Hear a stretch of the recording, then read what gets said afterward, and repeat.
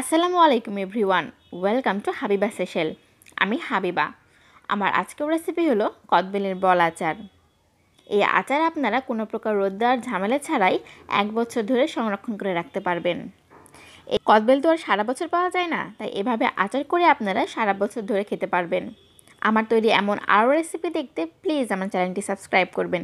তাহলে চলুন দেখে নিই এর পুরো প্রসেসটি চুলায় মিডিয়াম আছে, একটি ফ্রাই প্যান উঠিয়ে দিয়ে তাতে দিয়ে দিচ্ছি ওয়ান থার্ড কাপ সরিষার তেল।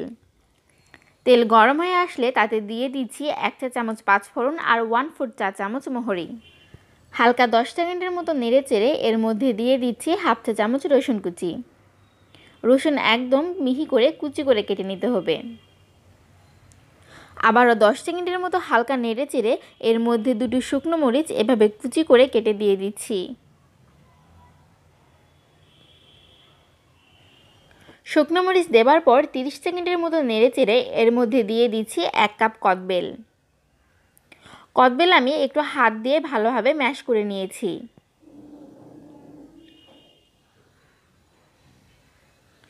এখন এক মিনিটের মতো এই কদবেল নেড়ে চেড়ে এর মধ্যে দিয়ে দিব সবগুলো গুঁড়ো মশলা।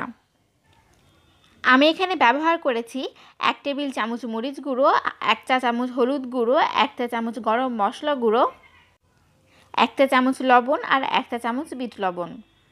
সবগুলো মশলা দিয়ে এভাবে খুব ভালোভাবে কদবেলের সাথে মিশিয়ে নিব।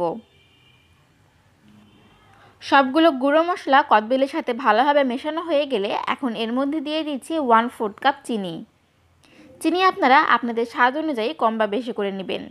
তবে আমার মনে হয় এক কাপ কদবেলের জন্য ওয়ান ফোর্থ কাপ চিনি যথেষ্ট।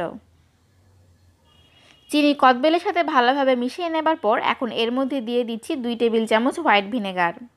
ভিনেগার দেবার পর প্রায় পাঁচ মিনিটের মতো কুক করতে দেখা যাবে যে তেল বেরিয়ে আলাদা হয়ে গেছে আর কদবেলের কালারও চেঞ্জ হয়ে গেছে। তার মানে আচারটি এখন একদম প্রস্তুত। এখন আমি আচারটি নামিয়ে ফেলব।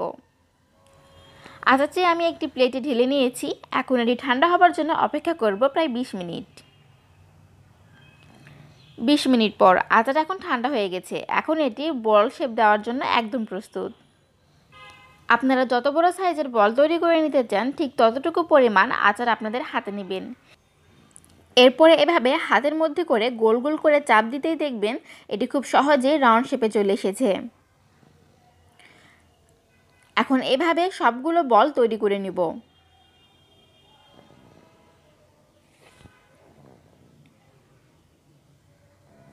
আমার সবগুলো কদবেলের আচার বল এখন একদম প্রস্তুত।